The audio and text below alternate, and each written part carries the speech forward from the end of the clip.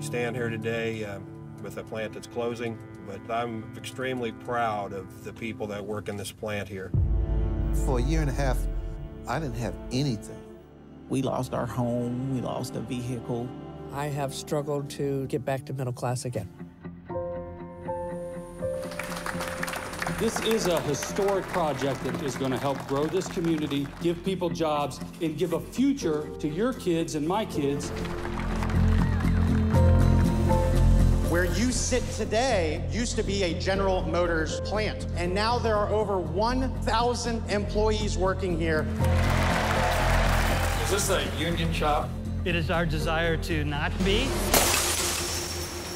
他炸玻璃他必在，但什么谢谢什么谢谢。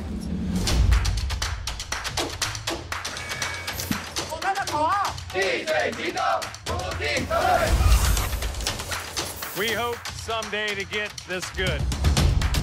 他动作比较慢，一直一直一直教一直教。美国工人效率低，产出低，不能管了。 There have been 11 complaints filed. Some workers claim unsafe working conditions and unfair treatment. Doing the same thing over and over again, that wears on your body and your soul. 压力是很大，确实是说白了话，任何人 在这个地方 They told me that they had to be here two years, away from their family, no extra pay. I made it their house, they made it my home. We've just bonded. 很佩服美国人还能三点半到，不用像我们想象那样子去为了生活失去很多东西。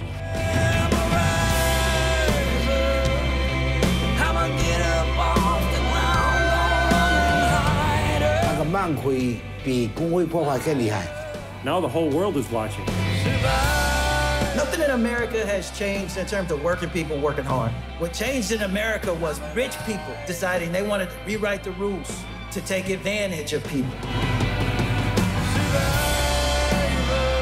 You never give up on the American dream.